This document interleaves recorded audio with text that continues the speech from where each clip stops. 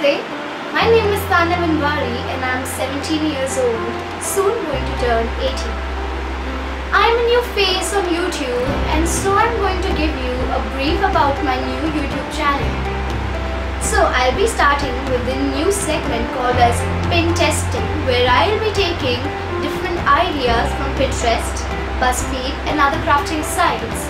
But the challenge here for me will be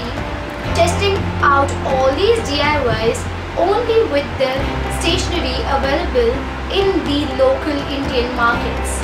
Because as we all crafters and DIYers in India we really know that the professional craft supplies are pretty much hard to find in the Indian markets and if we find them, they are pretty much expensive.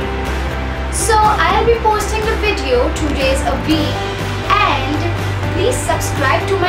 because it will be a great motivation for me to make more new YouTube videos and thanks for taking out your precious time to watch my YouTube video. Until then, keep smiling